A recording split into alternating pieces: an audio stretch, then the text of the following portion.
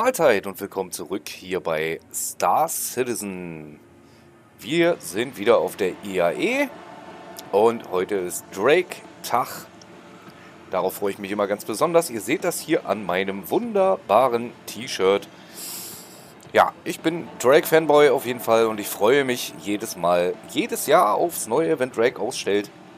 Das ist wunderbar. Ich gönne mir dann auch regelmäßig die Caterpillar. Das Ding steht weiter hinten im Hintergrund. Damit wollen wir uns jetzt aber natürlich nicht befassen, denn wie ich ja schon gesagt habe, ich äh, äh, präsentiere jetzt hier bloß die Neu Neuigkeiten, naja, Neuigkeiten ist falsch, aber die Neuheiten in Videoform und deswegen stehen wir hier schon vor der Cutter Scout.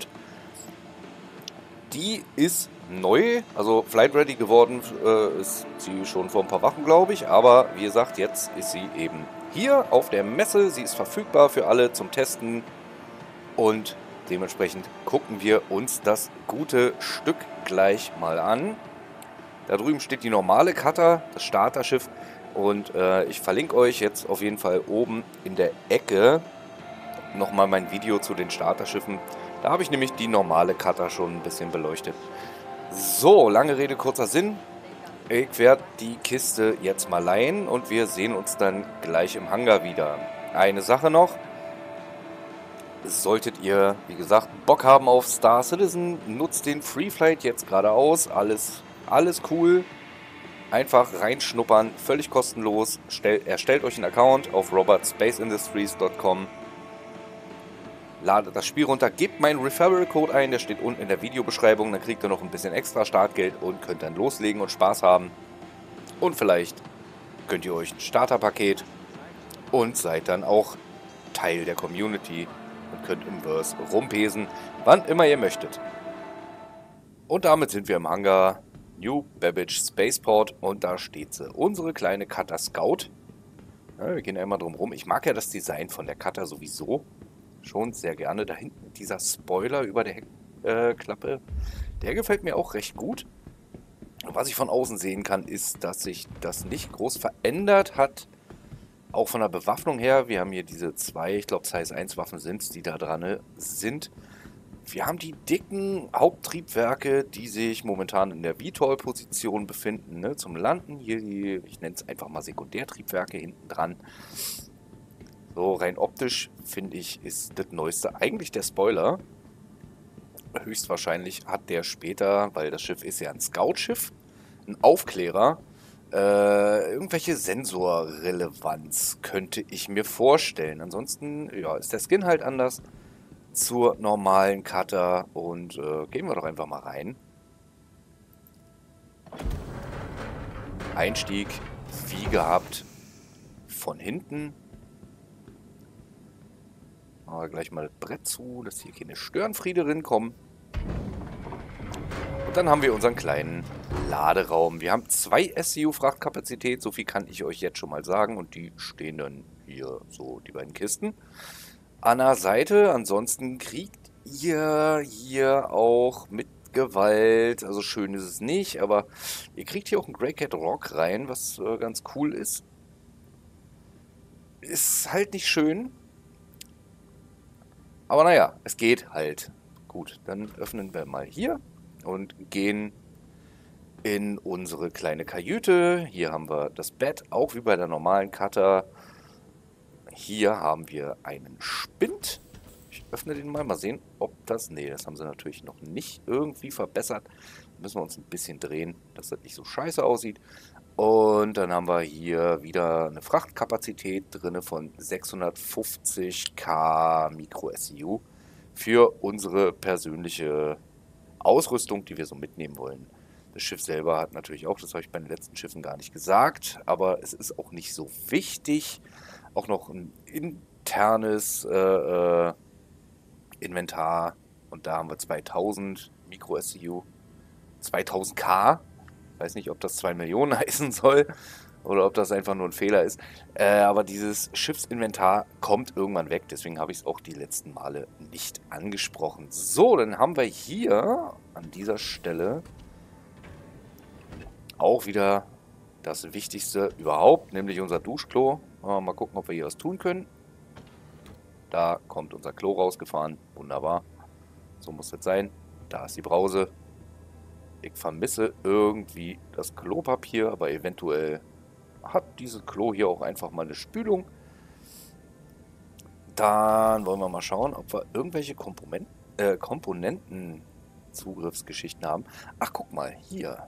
Radar. Use Engineer Station. Ich glaube, die hat die normale Cutter nicht. Chimera Communications, ja, ich glaube, das ist denn so die Geschichte. Da können wir, wenn das entsprechende Gameplay vorhanden ist, dann irgendwelche Daten sammeln. Ne? Als Aufklärer wäre das ja sinnvoll. Okay, ich finde hier jetzt gerade tatsächlich keine Komponentenslots. Schauen wir uns hier nochmal eben um, ob hier irgendwas aufgeht. Hier drüben vielleicht. Ne, sieht auch nicht so aus. Das hier nehme ich an, das ist ein Getränkespender. Würde ich jetzt einfach mal vermuten. Ansonsten haben wir hier drinne auch übliche Drake-Geschichte, Live-Support, Avionics. Hier können wir sogar mal drücken. Tatsächlich, wunderbar. Dann gehen hier diese Halteriegel weg. Das ist halt das Schöne, finde ich, bei, bei Drake. Es ist sehr rudimentär, ne? Es ist äh, wirklich einfachst gehalten. Hier mal ein Waffenrack. Für eine große Waffe tatsächlich auch. A la Railgun oder so. Ein Gewehr, zwei Pistolen gehen hier rein. Hier unten haben wir noch ein Fach. Da, da kann man Munition reinpacken. Da vielleicht auch. Das weiß ich nicht hundertprozentig. Nie ausprobiert. Ja, das war's eigentlich schon vom Innenraum. Schwingen wir uns mal auf den Sitz. Also ich denke mal, das dürfte sich nicht groß verändert haben vom Flugverhalten her. Schmeißen wir mal an den Hobel, wenn wir dürfen. Ja, R und Flight Ready funktioniert irgendwie echt nicht mehr. Mit U schmeißen wir jetzt äh, die äh, Systeme an und dann müssen wir zusätzlich nochmal I drücken, damit die Triebwerke angehen. Wir könnten natürlich auch hier irgendwo über eine Taste, die es hier sicherlich gibt, irgendwo das ganze Ding Flight Ready machen. Ihr wisst ja, wenn ihr F gedrückt haltet, dann können wir hier eine ganze Menge interagieren. Use Staggered Fire, whatever that means. Aim Assist, Free Gimbals. Ah, da geht schon ein bisschen. Gut, dann wollen wir mal abheben. Ich gehe mal kurz in die Außenansicht. Und wie gehabt, na, obendrauf ist auch noch eine Sensorschüssel. Die habe ich natürlich von unten gar nicht gesehen. Ich schätze mal, die fährt hoch, wenn wir an die Engineering-Station gehen. Äh, ich drücke mal K. Ja, so haben wir den VTOL-Modus. Gehen mal kurz ab. Und manövrieren uns mal langsam raus. Ah, ganz entspannt.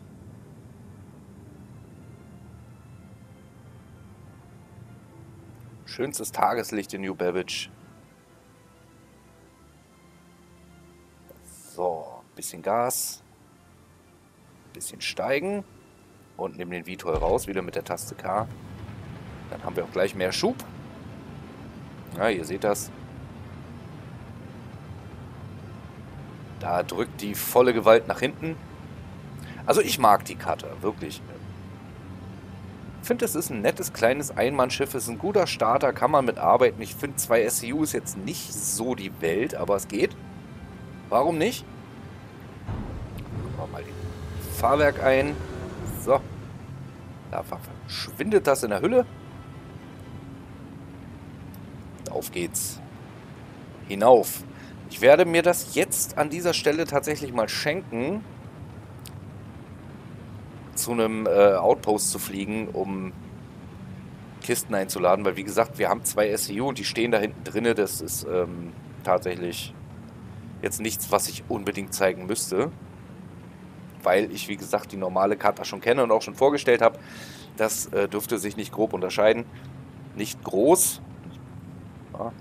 Ich fliege jetzt mal hoch in den Orbit und dann gucken wir mal, was sie im Kampf kann. Bevor wir da natürlich ankommen, machen wir noch eine Sache. Mal gucken, ob ich darf oder ob ich dann auf mein Mäulchen fliege. Erstmal beschleunige ich noch ein bisschen. Kurz mal schauen. Ja, ein bisschen geht der Geschwindigkeitsregler hoch hier in der Atmosphäre. 210 Meter die Sekunde, 215. Ein bisschen beschleunigt so noch. Sehr viel mehr wird das nicht.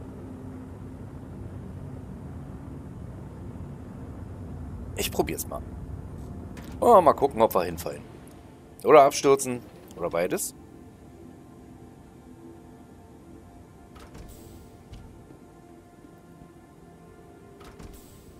Ah, wir haben eine Höhe von 10.000 Metern, also direkt abstürzen sollten wir nicht. Gehen wir mal hier ran. So, schauen wir mal. Können wir das Ding einschalten? Irgendwie. Gibt es hier einen Knopf? Da. Power On, finde ich gut. Und dann kann der Ingenieur hier theoretisch ein paar Sachen machen. Wir haben hier einen großen Radar. Hier sehen wir unsere Signaturen. Ja, hier die Schildverteilung und die Energieverteilung. Und hier könnten wir Energie einstellen auf Waffenschilde, Antrieb, je nachdem, wo wir mehr haben wollen im Vergleich zu anderen Systemen. Gar nicht mal schlecht. Hier geht es wieder raus. Andere Knöpfe sehe ich tatsächlich nicht. Na gut. Wird natürlich super interessant für Ingenieurs-Gameplay. Aber das ist ein Single-Schiff, Freunde, ne? Das dürfen wir an dieser Stelle nicht vergessen. Können zwar vielleicht einen Ingenieur mitnehmen, aber Schlafplatz oder einen Sitzplatz hat der Kumpel nicht. So, einmal nochmal kurz rausgeschaut. Nö, die Sensorplattform da oben, die fährt nicht aus. Naja, ist ja nicht so schlimm. Ich suche uns jetzt mal einen Gegner, Freunde, und dann machen wir ein bisschen Peng Peng und dann gehen wir auf die Website. Tja, 19 Kilometer da unten, meine Lieben. Da hätte ich auch gar nicht in den Orbit fliegen brauchen. Ich drehe mal kurz ein bisschen. Da ist New Beverage. Da hätte ich rüberfliegen können. Aber gut, weiß man ja vorher nicht, wenn man so eine Mission annimmt düsen wir mal runter. Ich habe eben auch noch mal kurz äh, äh, zwischen den Cuts mir noch mal die Schalter hier im Cockpit angeguckt. Also hier habe ich keinen Schalter gefunden, mit dem wir oben dieses Sensor-Array aktivieren könnten. Schon allein nur, damit es vielleicht ausfährt. Naja, gut. Macht ja nichts. Ist ja nicht so schlimm. Es ist halt da. Da kommt dann vielleicht noch was. So, da haben wir unseren Gegner.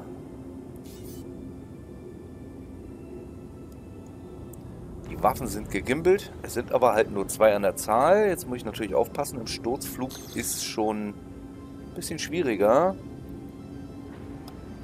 Dass wir nicht zu schnell runterkommen. Wir wollen ja jetzt nicht den Boden knutschen, nicht wahr? Das sind äh, äh VLRT-Bounties, sprich die einfachsten, die es gibt. Wir wollen ja nur mal sehen, ob wir da überhaupt klarkommen.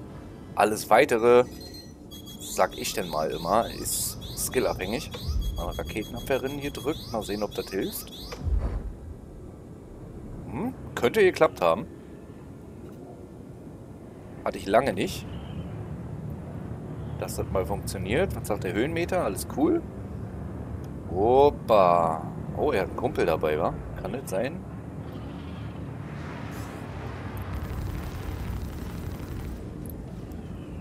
Ja. Wir haben hier Bulldog Repeater verbaut vom Hause aus. Die haben zwar ordentlich Schuss. Aber machen halt auch nicht so den Damage. Ui. Weil das ist eine Aurora. Das sollte eigentlich klar gehen. Ja, zum Flugverhalten kann ich auf jeden Fall sagen, sie fliegt sich jetzt auch nicht anders als ihr Schwesterschiff, die normale Cutter. Ist jetzt nicht so der Unterschied. Sie ist nicht so wendig wie ein Jäger. Soll sie auch nicht sein. Ist ja eher Richtung Allrounder, auch wenn hier der Schwerpunkt auf Scouting liegt. Wozu wir halt aktuell noch nichts sagen können, weil wir das Gameplay dafür noch gar nicht haben. Aber macht schon Spaß. Finde ich nach wie vor einen guten Starter eigentlich. So, ist sein Kumpel auch weg. Also wir sehen, die einfachsten Bounties kriegen wir hin. Ist überhaupt gar kein Problem. So, dann fliegen wir hier noch schön über New Babbage, beziehungsweise über Microtech, über die eisige Landschaft hinweg. Es ist einfach schön. Es ist einfach schön. Aber Freunde, wir sind ja nicht zum Sightseeing hier. So, und damit sind wir dann auch am Schluss angekommen, sind auf der Website und gucken uns das gute Schiff mal an hier. Was gibt es denn als Angebot? Direkt auf der Seite steht wie immer der Dollarpreis. 50 Dollar für das Schiff wird aufgerufen. Finde ich gar nicht so schlecht, kann man machen. So, und in der Warbound Edition, da sind wir jetzt im Europreis, 49,80 Euro plus Steuer. Und inkludiert sind eine lebenslange Versicherung, was gar nicht mal schlecht ist, ein Paint dazu. Na gut, und der Hangar, der interessiert uns jetzt eigentlich nicht so wirklich. In der Standardvariante haben wir halt wie üblich die 120 Monate Versicherung. Das Ganze kostet uns dann 55,34 Euro. Auch hier können wir mal gucken.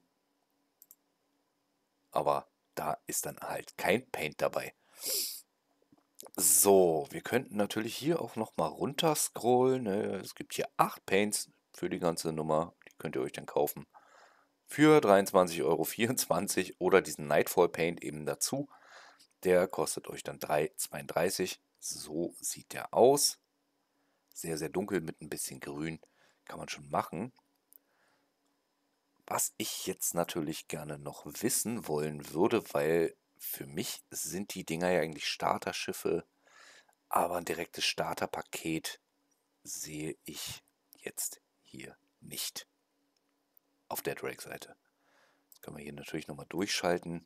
Dragonfly, Herald, Kraken, Privateer, Mule.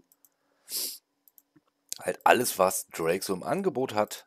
Cutlass Black, Blue, Red, Steel, und da sind wir wieder bei der Cutter. Also, da sehe ich eigentlich nichts. Ich könnte höchstens nochmal bei der Cutter gucken, ob wir hier ein Starterpaket haben zurzeit, aber sieht nicht danach aus. Da müsst ihr dann in den Pledge Store. Und das habe ich äh, auf der, äh, in dem Video, wo ich die Starterschiffe vorstelle, bereits erklärt. Das habe ich euch am Anfang des Videos verlinkt. In der Endcard ist es auch nochmal da. Gut, mehr bleibt mir dazu nicht zu sagen. Danke euch auf jeden Fall fürs äh, Zusehen. Ich hoffe, es war für euch einigermaßen informativ. Und ähm, ja, das nächste Video zur IAE kommt, wenn es was Neues gibt. Als denn bis denn.